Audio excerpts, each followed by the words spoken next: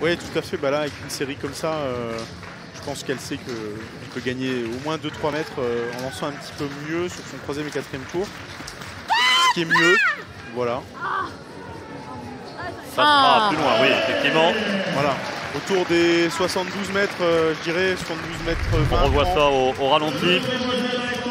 C'est mieux, vous voyez, euh, je sais pas si, si vous voyez bien, mais euh, sur son troisième et quatrième tour, euh, elle va chercher vraiment l'allonge. Elle a beaucoup d'amplitude. euh, On va le voir au ralenti. voilà. là. Regardez bien son troisième et quatrième tour, elle est bien relâchée euh, dans le marteau et, Ah, et on voit l'avance hein, qu'elle prend. et l'avance de- est meilleure déjà. C'est c'est pas le mieux qu'elle ait fait, mais c'est Alors, meilleur. Quand on parle d'avance, hein, c'est la pose de pied. hein, La pose de pied, ouais, pour accélérer le marteau. Ah, Ah, par contre, c'est s'est bien l'épaule, hein, par contre.